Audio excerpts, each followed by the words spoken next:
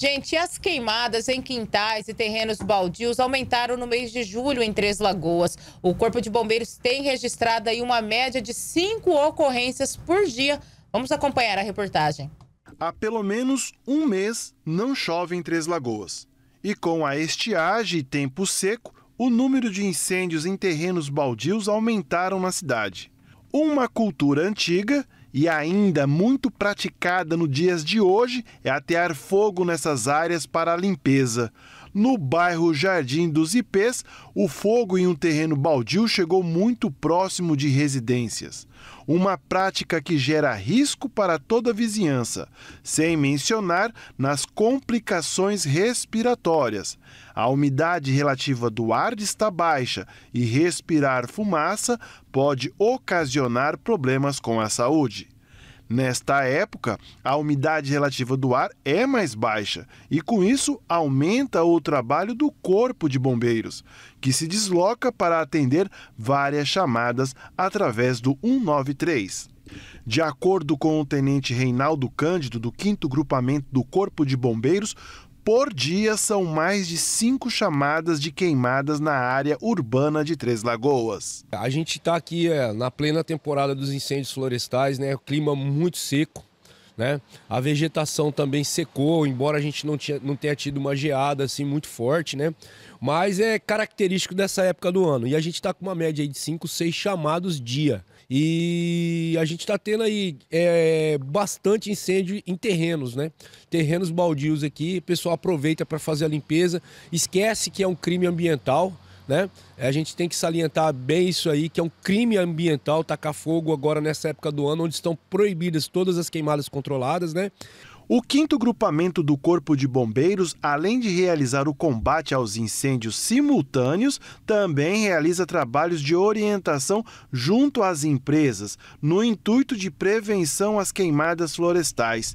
De acordo com o tenente do Corpo de Bombeiros, a maioria das ocorrências é em áreas urbanas e ainda não foi registrado nenhum incêndio de grande proporção em regiões de florestas são na, na, área urbana, né? Na área urbana e nas áreas adjacentes aqui a Três Lagoas, né?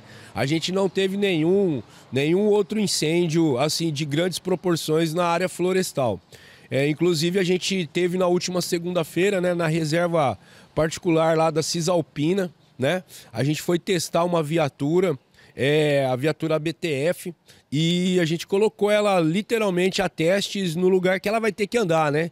É, no meio, no meio do, da reserva tem as trilhas lá, ela andou na trilha, andou na areia e graças a Deus aí a gente tem uma ferramenta hoje importante aí no combate aos incêndios florestais. O clima seco e a estiagem acaba favorecendo que pequenas fagulhas se transformem em queimadas, como aconteceu neste terreno aqui atrás do núcleo industrial no final da tarde de terça-feira. Ainda não se pode apontar que foi um incêndio criminoso, mas o risco maior seria se este fogo atravessasse a rua e chegasse a esta área de preservação ambiental onde vivem centenas de animais. A Defesa Civil de Três Lagoas também está em alerta para auxiliar no combate aos incêndios. O coordenador municipal da Defesa Civil, o João Luiz, tem percorrido várias regiões de Três Lagoas. Ele ressalta que este é o inverno mais quente dos últimos anos e este clima é propício para incêndio, como este que aconteceu no núcleo industrial. Para o coordenador, essas queimadas começam por um ato de irresponsabilidade. Eu creio que é irresponsabilidade. Tá? Na cidade, nós temos pessoas que colocam fogo nos terrenos para a limpeza dos terrenos.